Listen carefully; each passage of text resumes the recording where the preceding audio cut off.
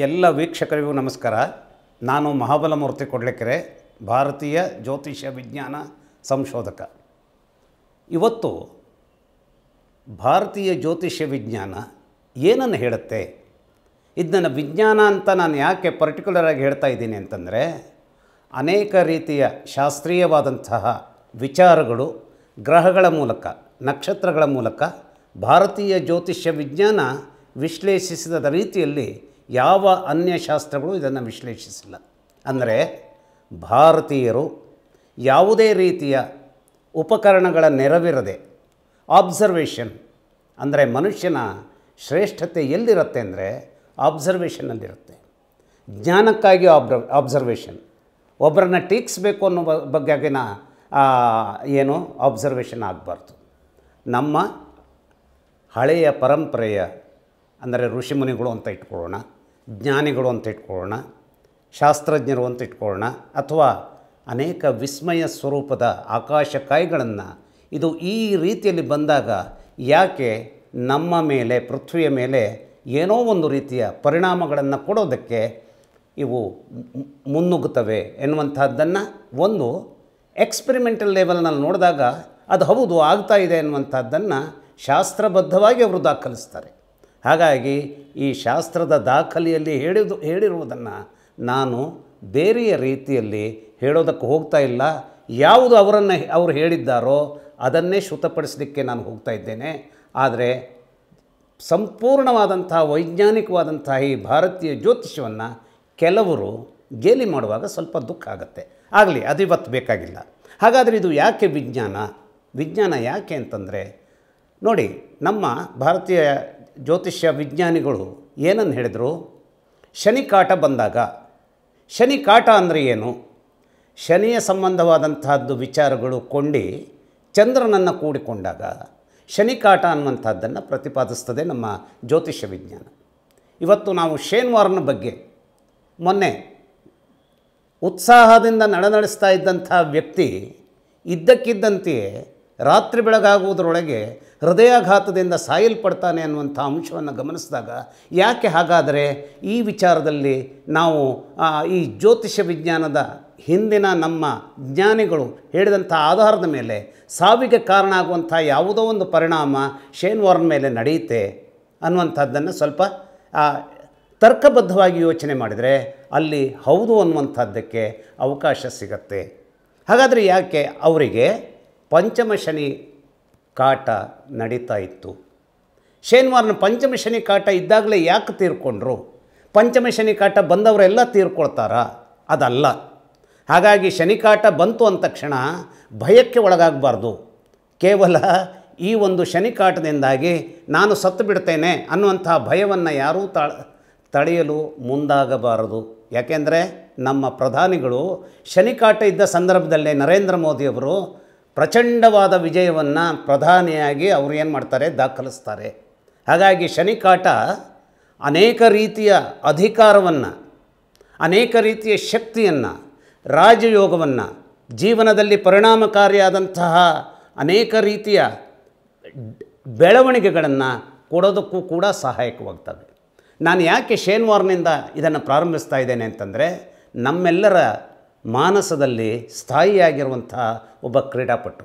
ಅವರ ಅನೇಕ ರೀತಿಯ ಅದ್ಭುತವಾದಂತಹ ಬೌಲಿಂಗ್ ಕೈಚಳಕ, ಸ್ಪಿನ್ ಮಾಂತ್ರಿಕತನದ ಆ ಒಂದು ಅವರ ರೋಚಕತೆ ಏನಿತ್ತು ಅದನ್ನೆಲ್ಲ ನಾವು ನೀವು ಎಲ್ಲರೂ ಅದನ್ನು ಆನಂದಿಸಿದ್ದೇವೆ. ಅದೇ ಆ ವ್ಯಕ್ತಿಯ ಬಗೆಗೆ ಅವರ ವಿಚಿತ್ರವಾದಂಥ ಕೆಲವು ಮ್ಯಾನರಿಸಮ್ಸ್ ಅಥವಾ ಅವರಲ್ಲಿ ಅತಿರೇಕ ಅನ್ನುವಂಥ ರೀತಿಯಲ್ಲಿ ಇರಬಹುದಾಗಿದ್ದ ಕೆಲವು ಅವರ ಯಾವುದೋ ಒಂದು ರೀತಿಯ ನಡವಳಿಕೆಗಳು, ಇವೆಲ್ಲವೂ ನಮಗೇನಾಗುತ್ತೆ? ಆಸಕ್ತಿಯನ್ನು ಹುಟ್ಟಿಸ್ತವೆ. ಈಗ ನಾನು ಯಾವುದೋ ಒಬ್ಬ ರಾಜಶೇಖರ್ ಅನ್ನೋ ಒಬ್ಬ ವ್ಯಕ್ತಿಯ ಬಗ್ಗೆ ನಿಮ್ಮೆಲ್ಲರ ಎದುರಿಗೆ ಪ್ರತಿಪಾದಿಸಿದಾಗ ಅದು ನಿಮಗೆ ರಾಜಶೇಖರ್ ಅನ್ನೋವನ ಬಗ್ಗೆ ಆಸಕ್ತಿಯನ್ನು ಕ, ಪಡೆಯೋದಕ್ಕೆ ಸಾಧ್ಯವಾಗೋದಿಲ್ಲ. ಆದರೆ ಶೇನ್ವಾರ್ನಂತ ಅಂತ ತಂದು ನಿಲ್ಲಿಸಿದವಾಗ ಅದು ತನ್ನದೇ ಆದಂಥ ಒಂದು ವ್ಯಾಪ್ತಿಯಲ್ಲಿ, ಹೌದಲ್ಲ, ಗ್ರಹಗಳು ಯಾಕೆ ತೊಂದರೆಯನ್ನು ಶೇನ್ವಾರ್ನಿಗೆ ತಂದಿರಬಹುದು ಅನ್ನುವಂಥದ್ದನ್ನು ನಾವೂ ಯೋಚನೆ ಮಾಡೋದಕ್ಕೆ, ಅಂದರೆ ಜ್ಯೋತಿಷಿಗಳು ಕೂಡ ಯೋಚನೆ ಮಾಡೋದಕ್ಕೆ, ಮತ್ತು ಜ್ಯೋತಿಷ್ಯದ ಬಗೆಗೆ ತಿಳಿದುಕೊಳ್ಳಬೇಕು ಅನ್ನುವಂಥ ಆಸ್ಥೆ ಇರುವಂಥ ಎಲ್ಲ ರೀತಿಯ ಜನರಿಗೂ ಕೂಡ ಇದು ಅನುಕೂಲ ಆಗುತ್ತೆ.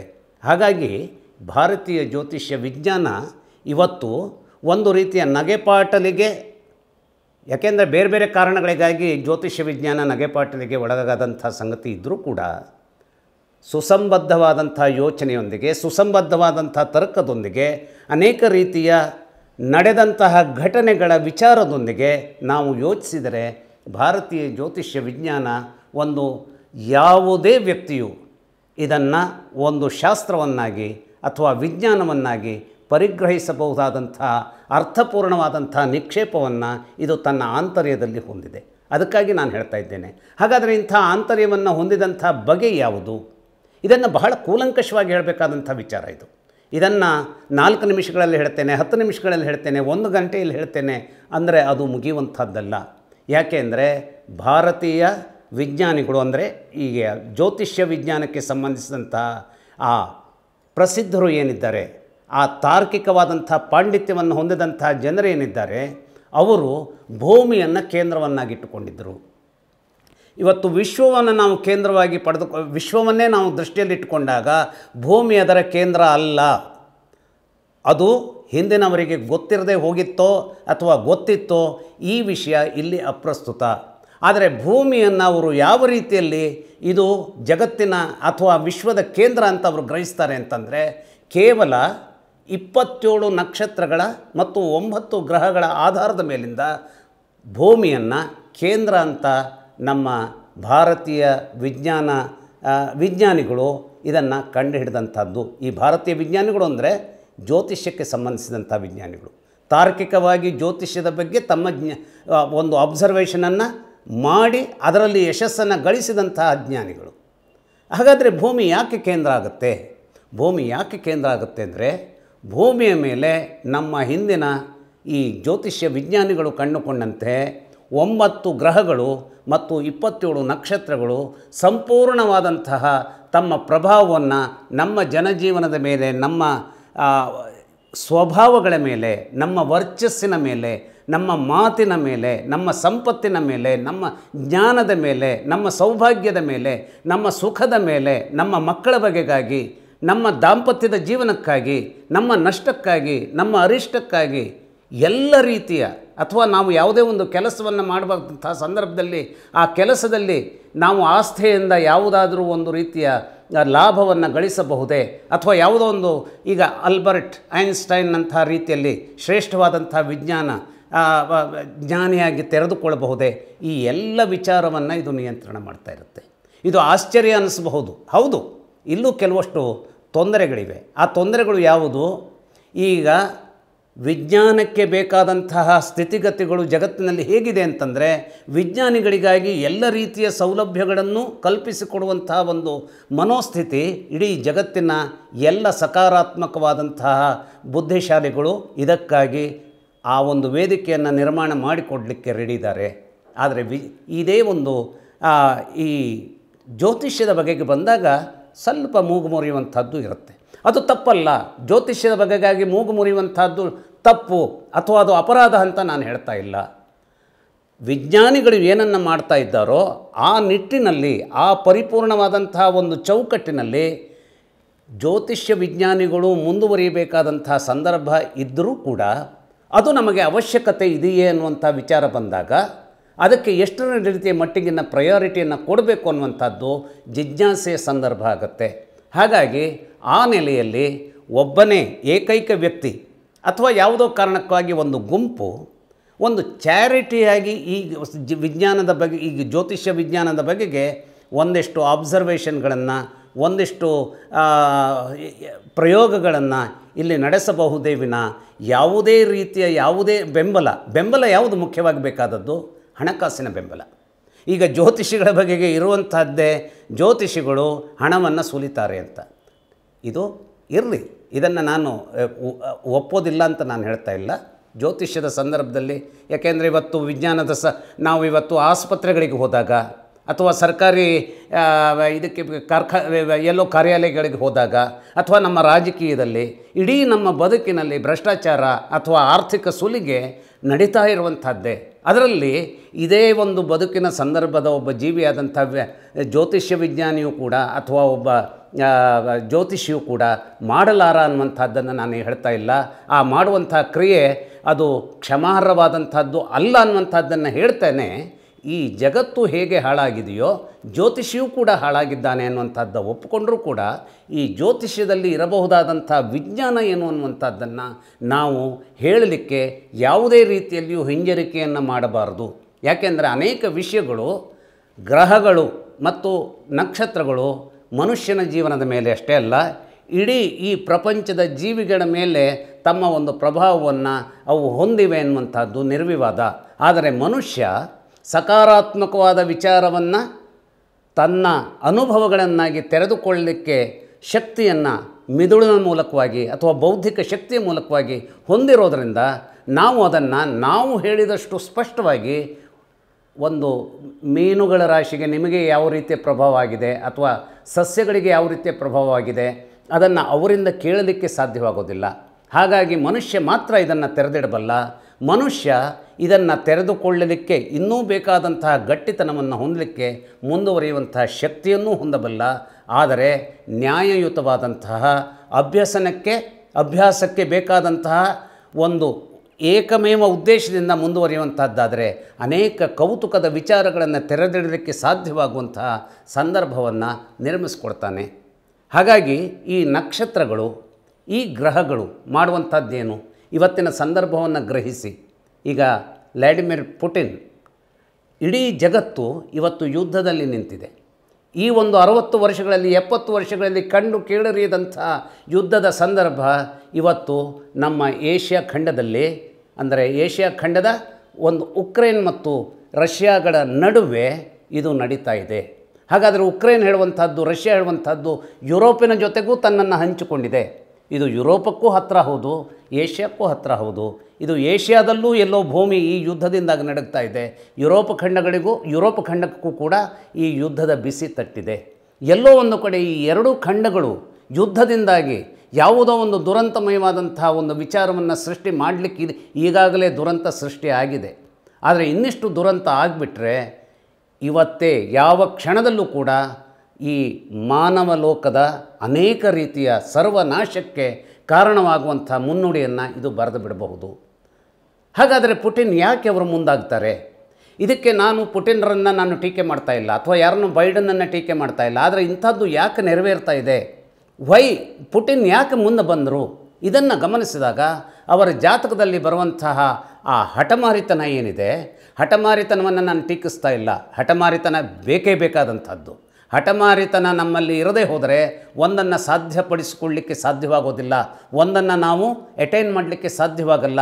ಹಾಗಾಗಿ ಹಠಮಾರಿತನ ಬೇಕು. ಆದರೆ ಎಷ್ಟರ ಮಟ್ಟಿಗೆ ಬೇಕು?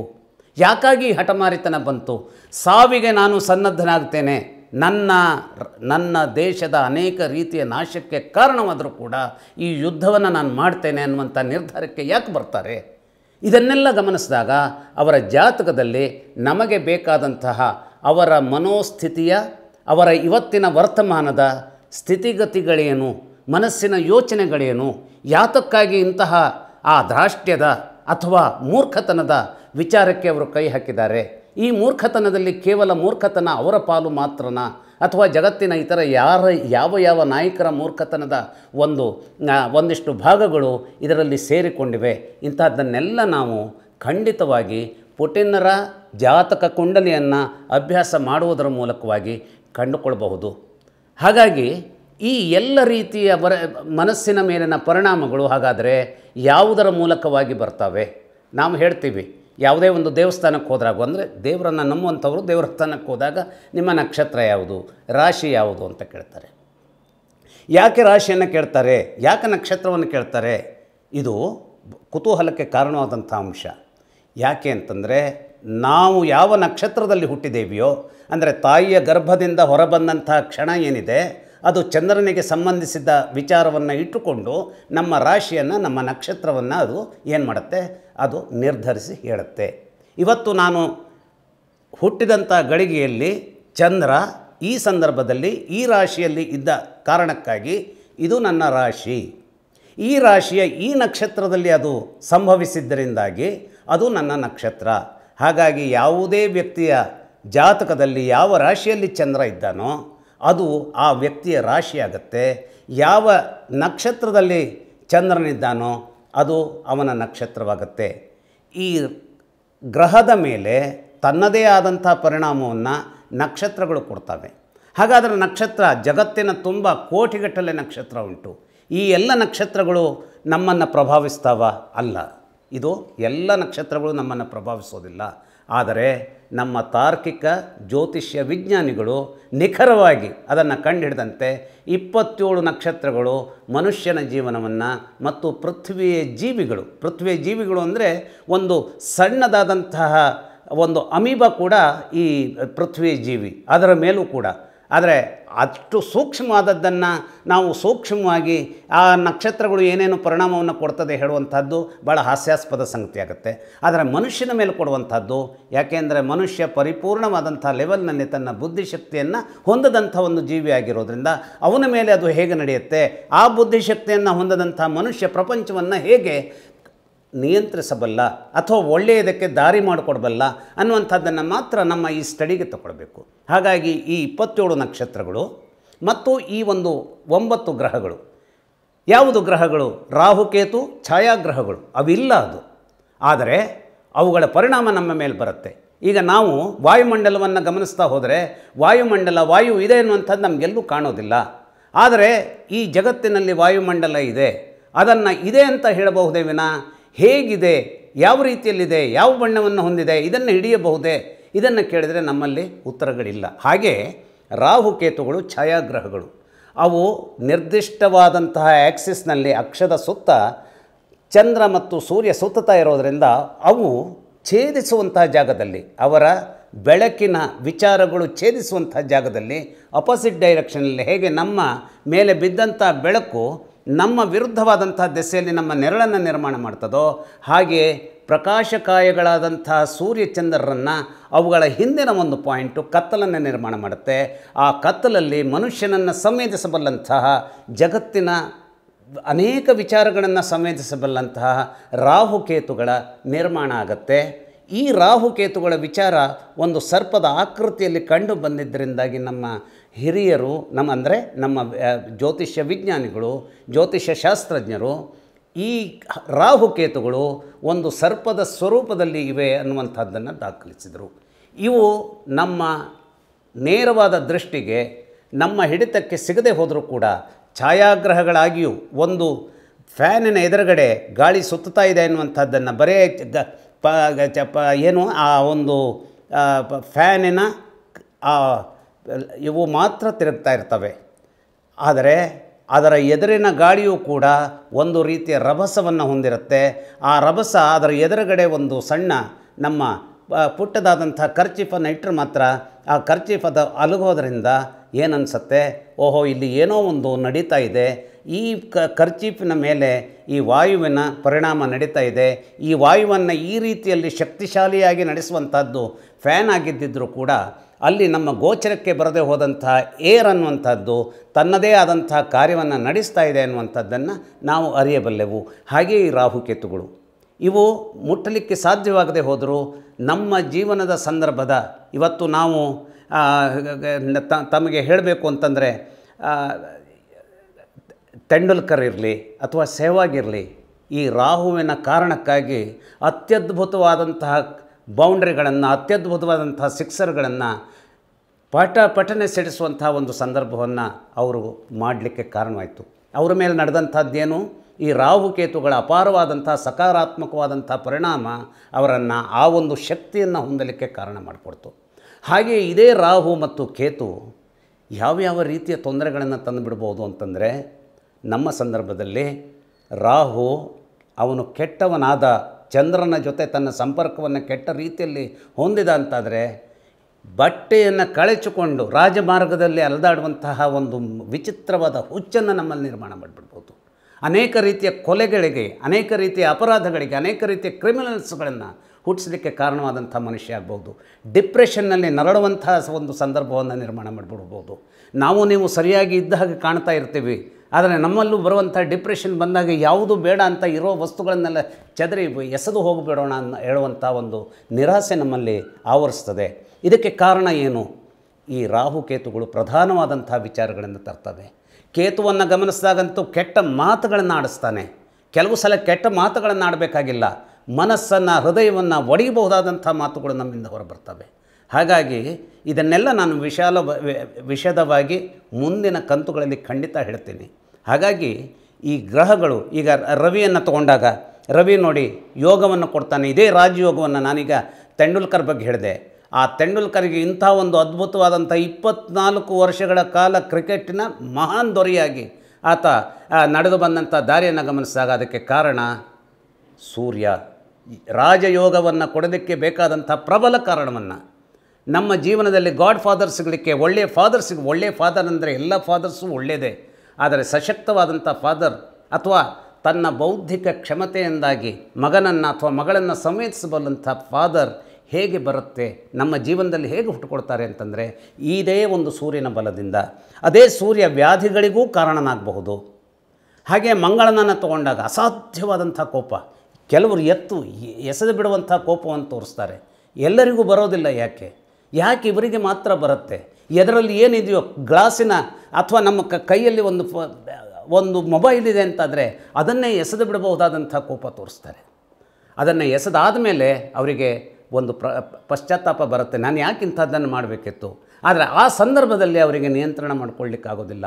ಅಂಥ ಕೆಟ್ಟ ಕೋಪವನ್ನು ಮಂಗಳ ಕೊಟ್ಟುಬಿಡಬಹುದು ಹಾಗೆಯೇ ಚಂದ್ರ ಚಂದ್ರ ಕಾಡಿದ ಅಂತಂದರೆ ಕಿ, ಅವನು ಯಾವ ರೀತಿಯಲ್ಲಿ ಅಂದರೆ ಜೀವನದಲ್ಲಿ ಏನನ್ನೂ ಮಾಡಲಿಕ್ಕೆ ಸಾಧ್ಯವಾಗದೆ ಕೆಲವರು ಗಮನಿಸಿರ್ಬೋದು ತಂದೆ ತಾಯಿಗಳು, ತನ್ನ ಮಗನನ್ನು ಬಿ ಇ ಓದಿಸಿರ್ತಾರೆ ಎಂ ಬಿ ಬಿ ಎಸ್ ಓದಿಸಿರ್ತಾರೆ, ಆದರೆ ಯಾವುದೋ ಬದುಕಿನ ಒಂದು ಹಂತದಲ್ಲಿ ಅವರ ಜೀವನದ ಒಂದು ನಿರ್ದಿಷ್ಟವಾದಂಥ ಗುರಿ ತಪ್ಪು ಹೋಯಿತು ಅಂತಾದರೆ ಅದಕ್ಕಿಂತ ಒಳ್ಳೆಯದಾದಂಥ ವಿಚಾರ ಇಲ್ಲಿದ್ದರೂ ಕೂಡ ಆ ದಾರಿಯನ್ನು ಅವರು ಹಿಡೀಲಿಕ್ಕೆ ಹೋಗದೇನೆ ಇಡೀ ಜೀವನವನ್ನು ಸಂಪೂರ್ಣವಾದಂತಹ ಜ್ಞಾನಕ್ಕೆ ಅಥವಾ ವಿದ್ಯಾಭ್ಯಾಸಕ್ಕೆ ಕಾರಣ ಮಾಡಿಕೊಂಡು ಕೂಡ ಇನ್ನೊಂದು ದಾರಿಯನ್ನು ಹಿಡಿಯಲಿಕ್ಕೆ ಹೋಗಬಹುದಾದಂತಹ ಮನಸ್ಸನ್ನು ಹೊಂದಲಿಕ್ಕೆ ಸಾಧ್ಯವಾದಂಗೆ ಅವರು ಇಡೀ ಜೀವನವನ್ನು ಹಾಳು ಮಾಡಿಕೊಂಡಂಥ ಸಂದರ್ಭಗಳು ಉಂಟು. ಇಂತಹ ಒಂದು ಅನಿಷ್ಟ ಸ್ಥಿತಿಯನ್ನು ಚಂದ್ರ ಉಂಟು ಮಾಡಬಲ್ಲ. ಹಾಗೆ ಅವನು ಒಲಿದರೆ ಅತ್ಯದ್ಭುತವಾದಂಥ ರಾಜಯೋಗವನ್ನು ಈಗ ಕ್ಲಿಂಟನ್ ತಗೊಳ್ಳಿ, ಅಥವಾ ನಮ್ಮ ಪ್ರಧಾನಿ, ಮಾಜಿ ಪ್ರಧಾನಿ ವಾಜಪೇಯಿಯವರನ್ನು ತಗೊಳ್ಳಿ. ಒಂದು ಚಂದ್ರನ ಕಾರಣಕ್ಕಾಗಿ ಬಹಳಷ್ಟು ಎತ್ತರವನ್ನು ಇರುವಂತಹ ಒಂದು, ಆ, ಸುಹಾಸಕರ ಸಂದರ್ಭವನ್ನು ಅವರ ಜೀವನದಲ್ಲಿ ನಿರ್ಮಾಣ ಮಾಡಿಕೊಡ್ತಾರೆ. ಹಾಗಾದರೆ ಗ್ರಹಗಳು ಮಾತ್ರನ ಇಲ್ಲ, ನಮ್ಮ ನಮ್ಮ ಒಂದು, ಆ ಒಂದು ಸಂಕಲ್ಪ ಶಕ್ತಿ ಬೇಕು. ಆದರೆ ಆ ಸಂಕಲ್ಪ ಶಕ್ತಿ ಎಲ್ಲಿಂದ ಬರುತ್ತೆ? ಈ ಸಂಕಲ್ಪ ಶಕ್ತಿಗೆ ಕಾರಣವಾಗಬಹುದಾದದ್ದು ಇದೇ ಚಂದ್ರ. ಸಂಕಲ್ಪವನ್ನು ಮಾಡಿಕೊಡ್ತಾನೆ ಅವನು. ಈ ದಾರಿಯಲ್ಲಿ ಹೋಗು, ಈ ರೀತಿಯಲ್ಲಿ ಹೋಗು. ಈ ದಾರಿಯಲ್ಲಿ ಹೋದಾಗ ಈ ರೀತಿಯಲ್ಲಿ ಈ ಕಡೆ ಹೋಗು. ಈ ಕಡೆಯಲ್ಲಿ ಹೋದಾದ ಮೇಲೆ ಬಲಗಡೆಗೆ ತಿರುಗು. ಇಂಥದ್ದೆಲ್ಲ ಸಂಕಲ್ಪಗಳನ್ನು ಮಾಡಿಕೊಡುವಂಥದ್ದು. ಆದರೆ ಅದಕ್ಕೆ ಬೇಕಾದಂಥ ಒಂದು, ಆ ತಳಪಾಯ ಏನಿರುತ್ತೆ? ಅದನ್ನು ತಂದೆ ನಿರ್ಮಿಸ್ಕೊಡ್ತಾನೆ, ತಾಯಿ ನಿರ್ಮಿಸ್ಕೊಡ್ತಾಳೆ.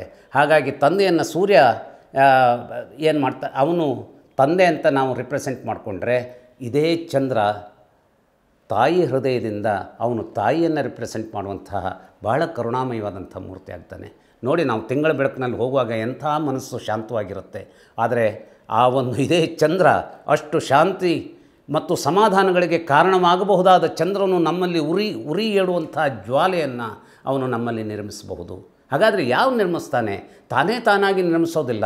ಬೇರೆ ಬೇರೆ ಕಾರಣಗಳಿಂದ ಕೆಲವು ಇಪ್ಸ್ ಆ್ಯಂಡ್ ಬಟ್ಸ್ ಅಲ್ಲಿ ಸೇರಿಕೊಂಡಾಗ ಅದು ನಿರ್ಮಾಣ ಆಗತ್ತೆ. ಬುಧ ಬೌದ್ಧಿಕವಾದಂಥ ಶಕ್ತಿಯನ್ನು ಕೊಡ್ತಾನೆ. ಆ ಬೌದ್ಧಿಕವಾದಂಥ ಶಕ್ತಿಯಲ್ಲಿ ದುಷ್ಟ ಬುದ್ಧಿತನವೂ ಇರುತ್ತೆ, ಒಳ್ಳೆಯ ಬುದ್ಧಿತನವೂ ಇರುತ್ತೆ. ಹಾಗಾಗಿ ಅದನ್ನು ಅರ್ಥ ಮಾಡ್ಕೊಳ್ಬೇಕು. ಬುದ್ಧಿ ಯಾವಾಗ ಅವನು ಕೆಟ್ಟ ಬುದ್ಧಿಯನ್ನು ಕೊಡ್ತಾನೆ? ಯಾವಾಗ ಒಳ್ಳೆಯ ಬುದ್ಧಿ ಕೊಡ್ತಾನೆ? ಗುರು ಜ್ಞಾನವನ್ನು ಕೊಡ್ತಾನೆ. ಜ್ಞಾನ ಯಾವತ್ತೂ ಕೆಟ್ಟದ್ದಲ್ಲ. ಜ್ಞಾನ ಯಾವತ್ತೂ ನಮ್ಮನ್ನು ಒಂದು ಹಂತದಿಂದ ಮೇಲೆತ್ತುವಂಥ ಮಾನವೀಯತೆಯನ್ನು ಪ್ರದರ್ಶಿಸುವಂಥ, ಮಾನವೀಯತೆಯನ್ನು ಅತ್ಯದ್ಭುತವಾಗಿ ಪ್ರದರ್ಶಿಸುವಂಥ ಒಂದು ಶಕ್ತಿಯನ್ನು ನಾವು ಪಡೆದುವಂತಾದರೆ ದೇವರಿಗಿಂತಲೂ ನಾವು ಸುಪೀರಿಯರ್ ಆಗ್ತೀವಿ ದೇವರನ್ನು ನಾವು ಇದ, ಅವನನ್ನು ಮೀರಿ ನಾವು ಹೋಗ್ಬೋದು. ಹಾಗಾಗಿ ನಹಿ ಜ್ಞಾನೇನ ಸದೃಶ್ಯಂ ಅನ್ನುವಂಥದ್ದನ್ನು ನಮ್ಮ ಶಾಸ್ತ್ರಕಾರರು ಹೇಳ್ತಾನೆ ಬಂದಿದ್ದಾರೆ. ನಮ್ಮ ಗ್ರಂಥಗಳು ಹೇಳ್ತಾವೆ ಬಂದಿದ್ದಾವೆ. ಶುಕ್ರನನ್ನು ತಗೊಂಡಾಗ ಅನುರೂಪವಾದಂತಹ ದಾಂಪತ್ಯವನ್ನು ಒದಗಿಸಿಕೊಡುವಂತಹ ಭೋಗಕ್ಕೆ ಕಾರಣವಾಗಿ, ಭೋಗ ಅಂತಂದರೆ ಇಲ್ಲಿ ನಾವು ಯಾವುದೋ ಒಂದು ನೆಗೆಟಿವ್ ಸೆನ್ಸಲ್ಲಿ ತೊಗೊಳ್ಬಾರ್ದು ಒಳ್ಳೆಯ ರೀತಿಯಲ್ಲಿ ತೊಗೊಳ್ಬೇಕು. ಇವತ್ತು ಏನೋ ಒಂದು ನಾವು ಕ ಒಳ್ಳೆಯ ಕಾರ್ನಲ್ಲಿ ಹೋಗಬೇಕು ಒಳ್ಳೆಯ ಮನೆ ಕಟ್ಕೋಬೇಕು ಒಳ್ಳೆಯ ಜಾಗದಲ್ಲಿರಬೇಕು ನಾನಿರುವಂತಹ ಜಾಗದಲ್ಲಿ ಎ ಸಿ ಇರಬೇಕು, ಇವೆಲ್ಲ ಯೋಚಿಸೋದು ತಪ್ಪಲ್ಲ. ಆದರೆ ಭೋಗ ಅನ್ನುವಂಥದ್ದು ನೆಗೆಟಿವ್ ಸೆನ್ಸಲ್ಲಲ್ಲ ಯಾವುದೋ ಒಂದು ಈ, ತಮಗೆ ಅರ್ಥವಾಗತ್ತೆ. ಭೋಗ ಅನ್ನುವಂಥದ್ದನ್ನು ನೀವು ಬರೀ ಕೇವಲ ನೆಗೆಟಿವ್ ಸೆನ್ಸಲ್ಲಿ ಯೋಚಿಸಿದ್ದೇನೆ ಪಾಸಿಟಿವ್ ಸೆನ್ಸಲ್ಲಿ ಯೋಚಿಸುವಂಥದ್ದು. ನೆಗೆಟಿವ್ ಸೆನ್ಸ್ ಇದನ್ನು ಕೂಡ ನಾವು ಮುಂದಿನ ದಿನಗಳಲ್ಲಿ ಇದನ್ನು ನಾವು ಖಂಡಿತವಾಗಿ ವಿಶ್ಲೇಷ ವಿಶ್ಲೇಷಣೆ ಮಾಡೋಣ. ಹಾಗೆಯೇ ಶನೈಶ್ಚರನ ಸಂದರ್ಭ ಬಂದಾಗ ಶನೈಶ್ಚರ ಆಲಸ್ಯವನ್ನು ತರಬಹುದು. ಅಥವಾ ಅದೇ ಶನೈಶ್ಚರ ಕಾರ್ಯಕ್ಷಮತೆಯಿಂದ ನಮ್ಮ ಅನೇಕ ರೀತಿಯ, ನೋಡಿ ಇವತ್ತು ನಾವು ಅಮಿತಾಬ್ ಬಚ್ಚನ್ ಹೆಸರು ಹೇಳ್ತೀವಿ. ಅಮಿತಾಬ್ ಬಚ್ಚನ್ ಇಡೀ ಜೀವನದುದ್ದಕ್ಕೂ ಶನೈಶ್ಚರನಿಂದ ಅನೇಕ ರೀತಿಯ ಕಷ್ಟಗಳನ್ನು ಎದುರಿಸಿದ್ದಾರೆ. ಆದರೆ ಅದೇ ಶನೈಶ್ಚರ ಅವರನ್ನು ಇವತ್ತಿನ ಎಂಬತ್ತು ವರ್ಷಕ್ಕೆ ಅವರು ಬರ್ತಾ ಇದ್ದಾರೆ, ಅವರು ಈಗ ಇನ್ನೇನು ತಲುಪ್ತಾ ಇದ್ದಾರೆ, ಅಂತಹ ಎಂಬತ್ತನೇ ವರ್ಷದಲ್ಲೂ ಕೂಡ ಅಮಿತಾಬ್ ಬಚ್ಚನ್ ಅಂದರೆ ರೋಮಾಂಚನಗೊಳ್ಳುವಂತಹ ಒಂದು ಪ್ರೇಕ್ಷಕ ವರ್ಗ ಅಥವಾ ಅವರ ಫ್ಯಾನ್ಸ್ ಇದ್ದಾರೆ. ಹಾಗಾದರೆ ಅವರಲ್ಲಿ ಇರುವಂಥ ಅಪರೂಪದ ಶಕ್ತಿ ಏನು? ಇದೇ ಶನೈಶ್ಚರ ಅವರಿಗೆ ಕೊಟ್ಟಿದ್ದು.